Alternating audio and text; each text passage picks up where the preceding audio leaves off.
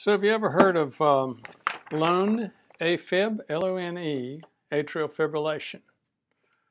Uh, what is it?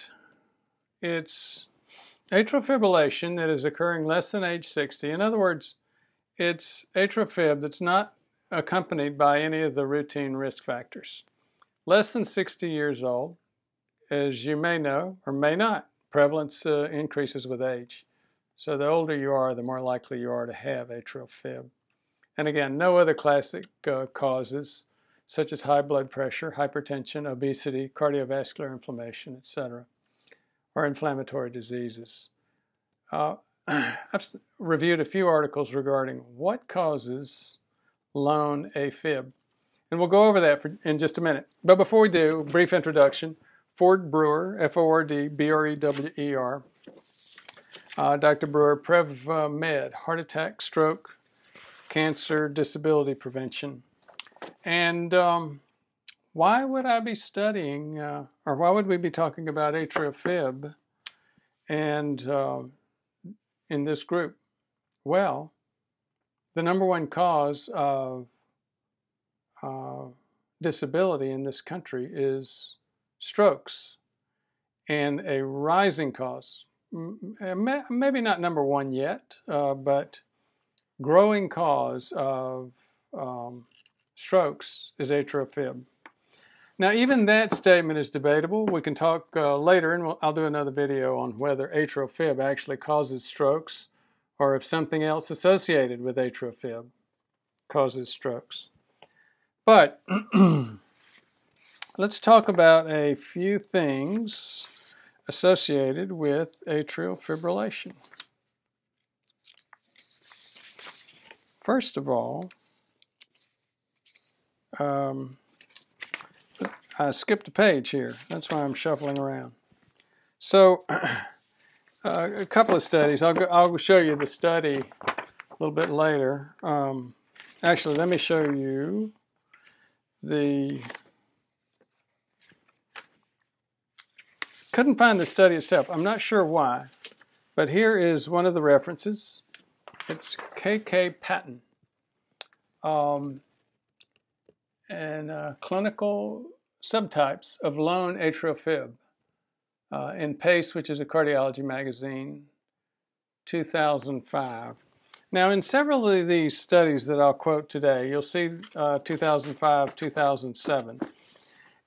And that's really the latest literature on um, lone atrial fib. I'll tell you why at the end. But we'll keep a little suspense until that point. so they studied people with uh, lone atrial fib. Well, then they started watching them. 8% went on to develop high blood pressure. Uh, obesity is one of the risk factors. Um, We'll talk about again obesity maybe a little bit later. Uh, others went on to develop diabetes. Others went on to develop obstructive sleep apnea. Others were found to have inflammatory disease. 28% of the women were found to have inflammatory disease and 8% of the men. Uh, these diseases, rheumatoid arthritis, systemic lupus erythematosus, irritable bowel disease, or inflammatory bowel disease, Again, these are diseases that, like diabetes, have a huge increase in risk for cardiovascular diseases. So if you're beginning to see a pattern here, yes, it's that it's that uh, the different aspects of the iceberg, the different perspectives of the elephant, where we have a, um, a metabolic disease that causes hypertension, obesity, diabetes, uh, sleep apnea, inflammatory disease. Now, here's another one though endurance athletes.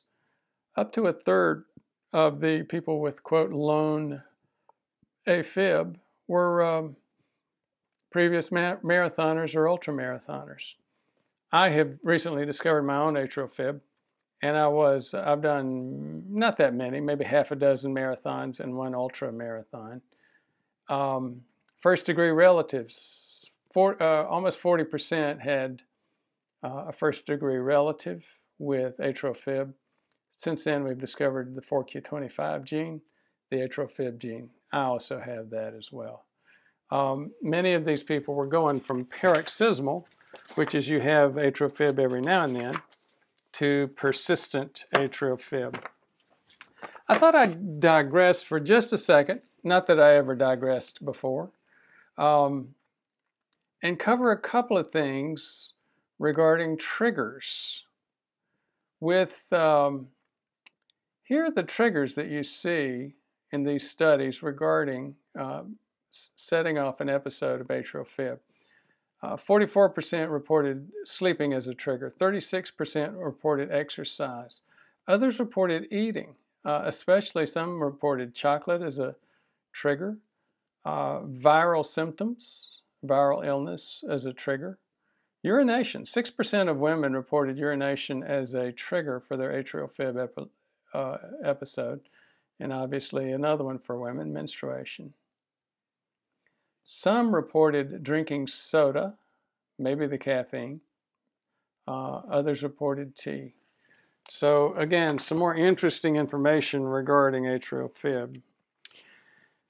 But if you go back to that, to these studies, um, here's one in Europace, uh, risk prediction for lone atrial fibrillation. You start seeing the same thing over and over again. Um, and what you see is uh, what I reported on that first slide. You start seeing the risk factors that we know of.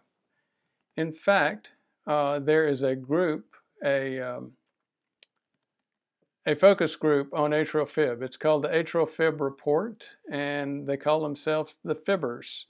They actually quoted the study that I just, um, the study by K.K. Patton, talking about risk factors for atrial lone atrial fib. So,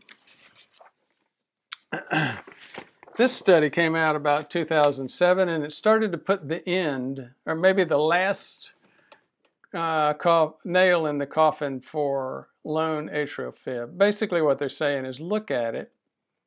You may get what we thought was lone atrial fib, but after you start getting deeper and deeper into it, maybe 2% of people that have atrial fib don't really have a risk factor.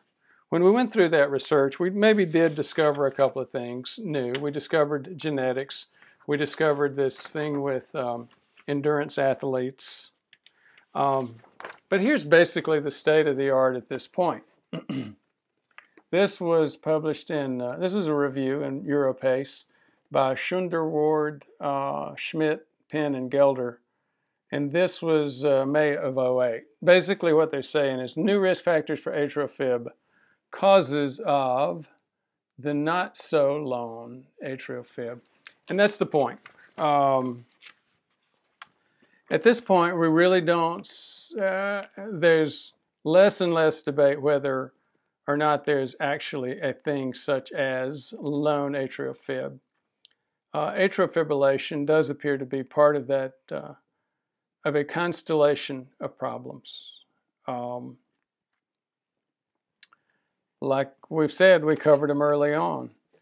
Getting older, um, obesity, cardiovascular, inflammation, diabetes, hypertension, um, and uh, for atrial fib specifically, a history of uh, endurance ath athlete uh, activities, and 4Q25.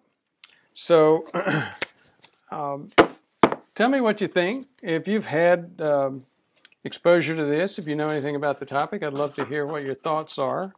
But uh, as far as I'm concerned, I really don't think there's a whole lot behind that old diagnosis of uh, lone atrial fib. I, am thinking it's uh, probably time to put, put that in the wastebasket and keep it there. Thank you.